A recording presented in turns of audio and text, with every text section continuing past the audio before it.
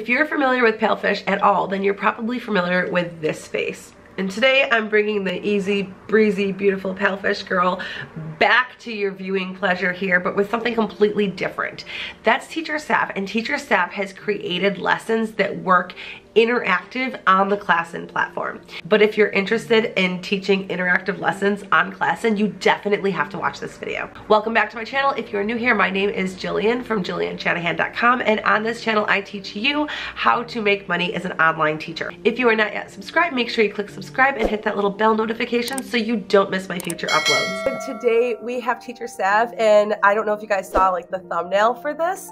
Anybody who works for Palfish recognizes those pictures. That was actually a real person, and this is the real person. We've got the Palfish cover girl here with us today.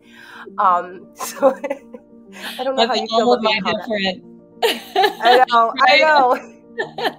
so we have the easy breezy, beautiful Palfish girl here. Ah. Um, but she's actually not here to talk about Palfish. Palfish is a thing of the past for her, and she has been creating a, or she has created a um, system for online ESL teachers to use. So, uh, Steph, would you like to tell us a little bit about that? For sure. So, like like you said, I've worked with Palfish. I've worked teaching ESL online for like eight and a half years now. And when it was sort of time to go independent, uh, I just I couldn't find what I wanted when it came to materials. I wanted something progressive that was, you know, of the similar uh, functionality of the big companies, what they have, how it leads into it, and all the levels and reviews. So eventually, I just decided, well, I have to make it myself.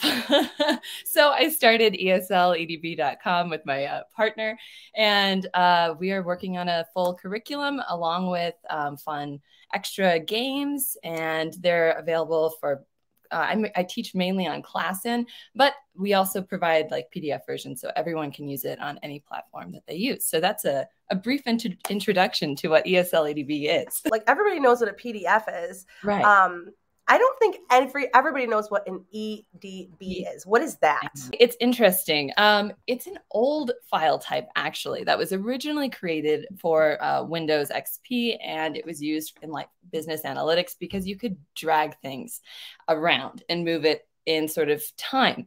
So Classin uses EDB files because um, when you uh, make an EDB file, you can click and drag, same with the student. So it's very interactive. Um, and it can, um, like I said, you can drag things around, you can implant things into the file. So it's basically an extra fun sort of interactive PDF. Oh, okay. So when you use the ESL EDB files mm-hmm. on Classin, mm-hmm. you are actually able to make it pretty much like a Palfish VIP kid kind of copycat exactly. thing, right?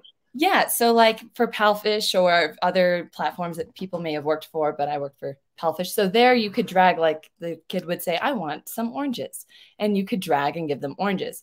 That's the same thing as an EDB file. Um, it's just a little bit different, a little older. So, you can drag it all, you know, to them. You can match things up.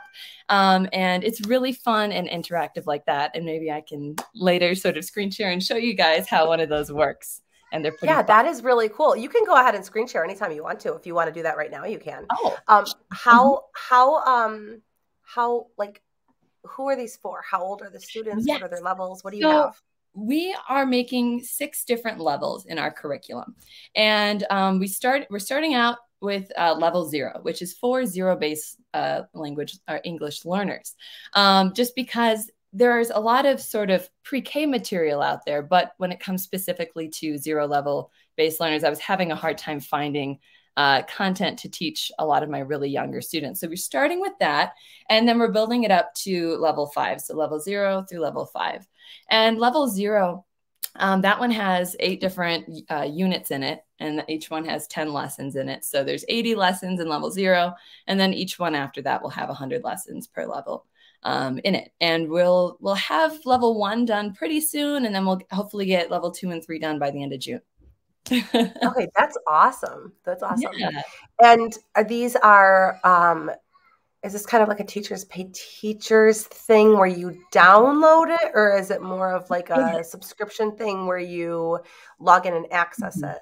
Right. So I never really liked using the ones that you had to log in and access it just because there's sometimes uh, you know internet problems if i can't access it or something. So you can when you buy it, um, it you download it and now you you have that file to use on whichever platform that you like. So it is uh, a copy that it comes with and each one when you download it it gets there's an edb file for ClassIn and then there's a pdf version that we've transitioned a little bit because you can't drag all of the items around um, so we made that that for the static pdf version of it Okay, very cool. And um, you could also use it on Koala Go too. Yeah, no, I've uploaded it on Koala Go, um, uh, Zoom. You know, you can use it on well anything that you can either screen share or upload a PDF. So yeah, yeah well, I mean, you could use versatile. the EDB files. You could use the EDB files on Go, right? I don't know I enough about EDBs. I, I don't know that Koala Go has that ability. Uh, I tried once a while ago and it didn't work, but that was a few months ago. So maybe they've progressed things. Maybe you can use it. At the moment, I think it's only uh, the EDBs are just for ClassIn. Um, but at some point, um, we might maybe add some more interactive, um, you know, clickable uh, items into the PDFs. At the moment, we're just sort of getting it all uh, out there. Maybe we'll edit in the future if we have that time. But at the moment, I just want to get all of these uh, levels out for whoever you know needs them for. Yeah, yeah.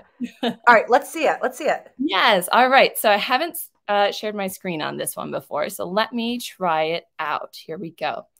So entire screen share. All right. So.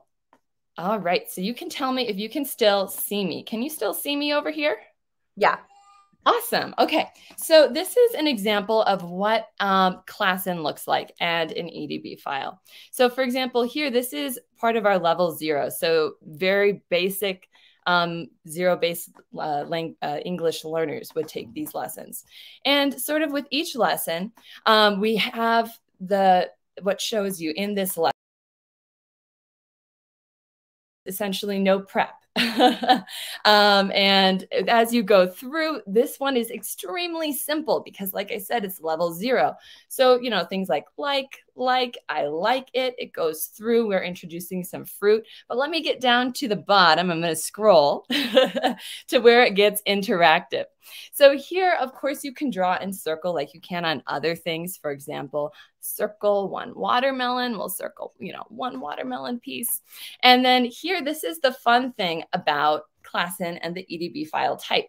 Here, the teacher would read, I like oranges. And every page that has a draggable element on it, I put this little finger tap. So it lets them know they can click it. And then they can drag the orange over to the hungry monster. the next one, they can drag the watermelon over them uh, over to the monster, and then grapes. And then down here, they can do some sorting. So it's really fun, interactive, and it's uh, quite easy for them to understand, which I like. And then they can move things over. So this is an example of the uh, EDB version of it. The PDF version, it's the same, except for they're just going to circle these things, or I'll sometimes have it so they have to draw a line to match it to the different ones. So that's an example of level zero. Um, do you mind if I show you an example of level uh, one? You can show us whatever you want to. I like this. Show us anything you want to. yeah. So for level one, it gets a little bit more complex, which is also a little bit just more fun as a teacher. And we've added some more elements in there to make it um, even easier so the, the um, teachers don't have to prep. Um, and in these, you might recognize these from Palfish. Uh, not from Palfish, but um, we've added some little, let me drag it down here. We've added little teacher guidance boxes. So for example, if there's a game or something and someone isn't quite sure of how uh, even though they're pretty simple, um, we have that all in there. So you can just open it up and start teaching without really having to preview the material. And the other really cool thing that we added into level one, let me scroll down here, it's at the bottom, is we've added homework. So everything that is going, uh, that is level one and up, we've provided this little page, Today You Learned. And this is meant to either screenshot and send to the parents um, and the students so that you don't have to spend time really writing a little thing. This is what you learned today.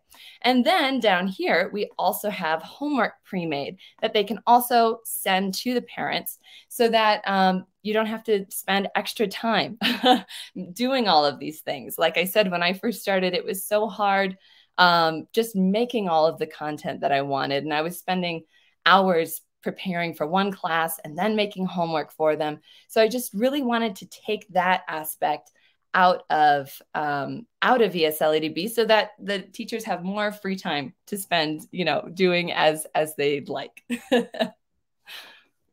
um, but yeah, so that's essentially it for this one. And let me show you a little bit of what we have going on over here on uh, ESLEDB.com. So we do have for our no prep sort of curriculum, we have, like I said, eight units in level zero. That one's completely done. Um, another sort of big thing for me is that in addition to no prep, um, I wanted to, it, everything was so expensive um, that I tried. It was like a $100 here, 300 there, or you can buy this one and it's sort of crazy. So I tried to make it, we're trying to make it as affordable as possible. One unit is $18 and that has 10 25 minute lessons in that unit and so that's one thing that was really big to me because it was hard to sort of start out and, and think oh i have to spend all this money on all these things and for level one we're going to be releasing unit five tomorrow i believe it's on uh, farmers market it's pretty fun one with vegetables and like i said we should have we have most of this almost done. So it should be done in about a week or, or two. so we're making some progress on that. That's awesome. And it's just um is is it just esledb.com then, right? Yeah, it's just esledb.com. Okay. Yeah. And in addition to all of sort of our curriculum and things, um, we also they say class and games. A lot of these are just available in the EDB uh, format, but there are some also other really fun ones that we've done. There's like a free Mother's uh, Day one up here right now. I think it's on the front page. Um, so you can try that in the PDF and EDB format. And then we've made a bunch of draggable games to sort of just make the lessons a little bit more fun. Um, I'm not sure. Do you like the game Wordle? uh, what actually, I don't even know what that is. Oh, so well, it became big. I never really played it. People might might know it. um, I know what Wordle is. I've heard of it. I don't know what it is though. You have to guess a five letter um, word essentially. Um, so I took that just because it's sort of it's become popular, and I made a ESL version of it that was simplified. Um, it's just loading for a second when it comes on here. It's simplified. Um, so you'd have to, for example, think of a five letter word. Like one of my students I played this with, she chose the word um, iPads. So I put, okay, I, P, A, and then D, and then S. And then here, as you can see, we have all like these little ones and it shows where the letter placement is. Um, so it's kind of fun. It's they, they have to guess the word essentially. And then we have little hints for them, like you use this in art class. This word is a noun and a verb. And then it has a picture sort of describing it if they need it. So for this one, can you guess what it is, Jillian? P A I what do you think? Oh, mm, is it hmm. paint? It is. okay, I know I've never seen that game before. That's cool. Yeah, it's just sort of a fun little interactive game. These are for a little bit more, you know, advanced uh, students because they do have to think of words. Um, and then we also have different versions of like Scrabble Junior where they just have to match the letters. Like I have the P in pink um, and just fun little extra things like that to help with the letter recognition. Um, if you ever needed a little extra time in a different class or something to pull them up, um, they're they're really fun, and we have free versions of these on the site as well. Oh, really? Yes. Oh, I'm trying to come back to you. Wait, so what do you have? Because because there are go go back into your into the games into like, the game. Yes. Sure. Yeah, right there. Okay. Mm-hmm. So okay, so there are you have paid ones, right? okay, I then I see that ones. trouble and then connect 4 mm-hmm. so there's freebies there. Yeah, there's freebies. Okay. Um, we sort of change these as well. Um, what we're trying to do is like every week we're putting up one that's free, so that and it's different, so that people can go and download it, and those are found on our front page up here um, on home. Like as soon as you would type it in, like for example, we have Mother's Day, and this one's really cute. You get to uh, cook uh, the mom breakfast. The kid gets to decide what Western foods their mom would like for breakfast. Um, and they get to drag it all together. Like the Cinco de Mayo one we had, they get to make tacos and they learn about like mole and and mariachi bands and drag them around. so it's that's really fun. cool. That's really cool. I anytime I had the whole taco discussion with any mm-hmm. of my mm-hmm. kids from China, they were like, "What? Wait, you do what?" I know. I know it's sort of hard to to comprehend for them. So I I uh, was teaching this one last week with a bunch of kids, and they had a bunch of fun. Actually, I can show you on here. I really uh, like this one. It's uh here we the go. taco one. Yeah, the taco one. Just one time years ago, years ago, uh-huh. I went into a Chinese restaurant and my uh-huh. daughter it was like a fancy chinese restaurant though and you know uh-huh. like where, where, they actually have like the china teacups that they you know serve yeah. you with and um my daughter she was she's 11 now she's probably like three 2 or uh-huh. three and she wanted a taco no, I'm sorry. She no, I'm sorry. She wanted a pancake. That's what it was. That's she wanted Ooh. a pancake, and they didn't know what the pancakes were, and they brought her out a plain taco shell. She ate it. She was oh. like, "I got the oh. pancakes," but it was a soft taco shell that they brought out. Nice. No, that's fun. Yeah. So like with this one, uh, the hard one's kind of difficult to make it with. So I'll use the soft shell taco. But then here, you know, they could choose. I want you know, chicken and or beef. And it has just sort of interesting, like, do you like red salsa? It's spicy. uh, you know, they get to add what they like to it. Um, so that's why I really like this format. And I really wanted to make it um, our lessons in this format just because of how easy it is to make it so interactive. Um, and yeah, even little cilantro and stuff. So that one's fun. And then later in this one, they even got to uh, there's a pinata. Which one do you want to use to hit the pinata? You know, just like little fun stuff. And then it showed all about different Mexican candies and and so this one's for a little bit more advanced students, but uh, we're trying to to also make um, a bunch of these and put them out for free during that week um, for festivals that are coming up. And that's sort of one of our goals for this year as well, um, is to sort of get a handle on all the different holidays and get some content out there for that. I actually don't know any of that Mexican candy. I'm, I'm learning from this. I don't know any of that. Here's a little, well, not a secret uh, about me. When I, I mean, I'm from the US, but from eight years old to 13, I lived in Mexico. So this one was really fun for me to make because these were all of my favorite candies as a kid. oh, that is fun. I didn't know that. This is really cool. This is really, really good. Uh, zero, I can show you over here. Um, we have, like, let me click on this one. The very first one, which is very Oop, that one went to the wrong one, but that's fine. So here it, it goes through all of the different um, you know, letters like uh, level zero goes through the alphabet and it focuses mainly on letter recognition rather than the actual phonetical sound, just because it's their first time, maybe, you know, seeing these characters and things.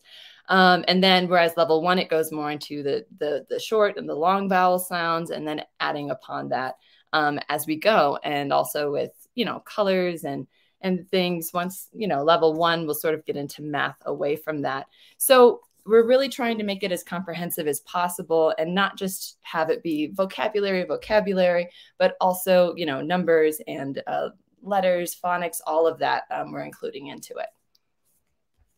These are awesome. I love these. Great. Thank you so much for sharing.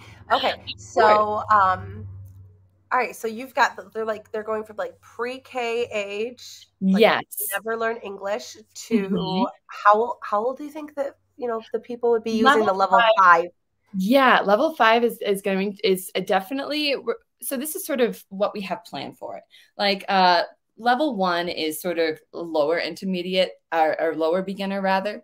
The level two is going to be a higher beginner. Three is low intermediate. Four will be intermediate, and then five will be high. So I'm thinking that will be you know from the it depends on the student's abilities. As we know, sometimes we have really young students who are great at uh, you know, just pick it up really quickly, but probably around the 13 year old range there um, is or 12 to like 14 is what I'm thinking. And we're also styling each level a little bit differently so that um, it's it suits a different age group. Like you saw from the level zero one, it's very basic. It's definitely for a, a younger child. And then we're sort of trying to to make it a little bit more advanced in the characters themselves that we use um, but also just what the classroom looks like that we use in the images and things like that, just just kind of show them that they're advancing. That is awesome. I love this. Main goals of making ES, ESL EDB was to create a curriculum that really was no prep that teachers could go into and not have to uh, you know be confused over and uh, just be able to go in and use it right away. And then we wanted to make it as interactive as possible which is why we focus on the edb interactive side of it but we also provide the pdf so they can you know use it on whatever platform suits them most. And then the third one was just making it affordable for everyone. And uh, yeah so it's it's going along really well and everyone's been very supportive. So that's great They are super cool. These are super cool. I love the extra games that you can do too. And yeah. I know that like I know that some people love the um some people love the subscription services and some people mm-hmm. prefer not to do the subscription services. Exactly. So it yeah. is cool to be able to have both options there, you know, like mm-hmm. different kinds of things. Um with an EDB file, Mm-hmm. Is there anything different that you have to have on your computer to support it? Is there anything that you need to do differently? Right. So that's why EDB is mainly for ClassIn now. There's nothing that you have to download if you're using ClassIn to use an EDB file. Um, that is already in here in ClassIn. Um, so you just have to open the file in it. Now, if you try to open the EDB file just on your computer, it might say you don't have something to open this file with. And that is um, because it's sort of a, this niche file type that ClassIn has focused on and sort of dominated in, in, in the market. Um, and so ClassIn is the easiest way to use that. So even if you wanted to play a game with your student um, and you were on a different platform, you could, you know, because it's free just to create an account, you can open up uh, it in ClassIn and they can even like draw an arrow and you can drag it for them is something that um, some teachers have done and told me about before.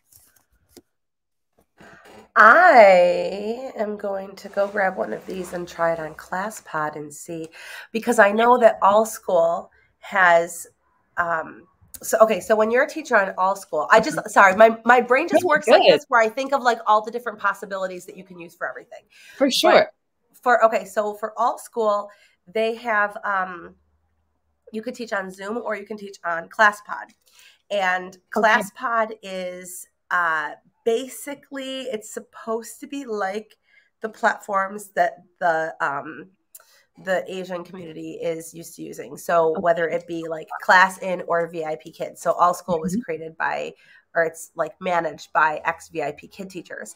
Mm-hmm. So I'm wondering if they support the EDB files because it's totally different than Zoom or anything like that. And you can upload the files into it. So I'm going to have to go and check that because that would be really cool to be able to offer that on that too. That would be yeah, really awesome. I didn't even think about that. Yeah, and here's like another example of why I like the EDB format. I I have a dog, so I love dogs, but uh, I'm I'm planning on making a cat one too. But you can do things like drag a dog through a story with you. So this was one I made for a kid of mine who who and this is on the site as well who love dogs. They get to adopt it and they get to give them a name tag and a name. And then we Aww. go down. You take them to the vet, and then you know they can listen to his, you know, cute little stuff. You they can decide does he need a shot yes or no because some kids get a shot. You don't want a shot. right exactly uh, and then you'd bring them home oops let me bring them to the front real quick and you can choose you know which water bowl he likes and give them some food and it, it, it makes it really interactive for so this was sort of another speaking activity lesson where we just provided questions to sort of outline an activity that you could do with the student that was at a, a stage that they can easily communicate with you Um, and so we we we put out ones like these quite often. Then they go to a dog park. I got to say that quietly so my dog doesn't hear it, and they can play and and all that stuff. So it's it's really sort of fun, and it uh, just I I've uh, only had good experiences with this with this uh, you know format with my students, and they seem to really enjoy it. That is so cool. This is like the Barbie doll of curriculum. Something like that, right? And you, you have drag- a dress up one? Do you have a dress up one? I don't yet, just because so many people make them. So that is coming. I do have, uh, of course, in our actual curriculum, because we do try to put games into it as much as we can. Um, pretty much every lesson has at least one or two pages that are is somewhat of an interactive game. Um, and so we do have a few on there where you have to dress um, like a girl and a boy. Um, in fact, I think I have um, that right here. I do. Let me go grab it. um, but I did not do any sort of large here. I'm scrolling down. There we go. I didn't do it on any large actual scale, just sort of a simple little, because I learned boy, girl, and all these things, just a simple little one. Aw. Yeah. I like that. That's so cool. It's that is fun. so cool. I I love I love the fact that there's like even if you didn't want to um do like a whole level or you wanted to do like a special thing or whatever. Like I love the fact that you have like special occasion things and special game things. And that's really good. He's got a mustache. I know, I know. I love that thing. That's that's really really good for building the relationship with your students. Like if you know that your student really likes dogs or you know yeah. that your student really likes mm-hmm. learning about like you know culture and you have taco mm-hmm. tuesday or you you know and you talk about the tacos like i've had that conversation and then i just show up the next class with like a hey let's make a taco that teaches yeah. them it builds the relationship it makes you be providing like you're providing so much more value than just the class content. I love it. Oh, good, good. We have a. Uh, I called it hamburger helper. You make a hamburger. that one, that one's a, a, student favorite as well. There's some stuff on there like blue cheese. Everyone's like, "Ew, I don't like that." and, you know, the jalapenos. I'm like, I want jalapenos on my burger. they have fun with it. Yeah. That is really cool. Well, thank you so much for sharing. And if anybody wants to, um, and I know you do because this is really cool. If anybody wants to go ahead and grab any or all of these lessons, um, it is esledb.com and you can find teacher staff. So you are in social media, you are on Insta, you are on Instagram as mm-hmm. esledb, or I'm sorry, esledb, right? Yes.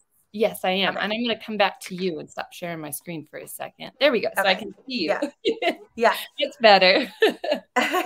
okay. So you're on Instagram. Mm-hmm. Um, do you have do you have a Facebook group or no? Uh, so it's ESL EDB is also for Facebook, um, and we have a YouTube uh, channel where I'll upload some how tos on how to use the different file formats, and um, also just uh, actual live class examples of my classes with my students using the materials um, that they've given you know permission to use and uh, lots of different stuff on there. So it's and I'm having so much fun making it too. I mean, honestly, you're good at it. I'm good. looking at stars. I'm like, what can I do with this? You know, it it's really a fun, creative opportunity. I get to be like a little kid. Like, what you know, what activity can I do with shapes or with numbers? And it's super fun, and uh, I definitely enjoy it. also, that is uh, awesome. Not up yet, but I'm putting it up tonight. Um, there is just in case anyone does want to try anything. Like I said, we do have free stuff up there that we're changing weekly, um, but I'm going to be activating a 25% off code for the whole um, site, and it's just going to be code ClassIn. So just so people know about that, um, it is just class in C L A S S I N, and that one's 25% uh, off the whole site. And, and it's going to go up probably after this live. I'll put it up. and okay, go, how long is it? I think it's going to go, uh, it's sometime into mid June, I think, because a little while because I have some uh, sort of lives coming up with class in actually. So I'm going to be using it for them as well. So that's the code class in. okay, very cool. That is awesome. That's awesome. Um, what? Oh, do you take suggestions? Yes. you have like a so if somebody's like, oh, I think it'd be really cool if you made a dress up the dog lesson. Like, do you mm-hmm. like? Is there a way for people to like send you suggestions? There is, there is. Um, it it is our email um, is ESL EDB contact um, for that at gmail.com. And here it even says that I can share again really quickly our screen. Um, but it says that also on our site here. And on the home page, let me look down here real quick. Maybe it got moved. It used to be right at the top. I got to put it back. I'll put it back. But it said if you need, you know, want anything made or have some suggestions, email us. I we were redoing the site a few days ago, so it might have gotten moved. okay. Um, but, yes, so anyone can message us and um, we've made different um, games, like, for example, one of our words with students, which is essentially the Scrabble Junior. Some different teachers uh, said, Hey, you know, I'm teaching ocean animals with my student, and I'd like to have one of these boards made and, you know, have ocean animals on it. So I made that and put that up there for her. And like you said, yeah, dressing up dogs. There's a, actually, there are two that I'm working on now that people have sent to me as well.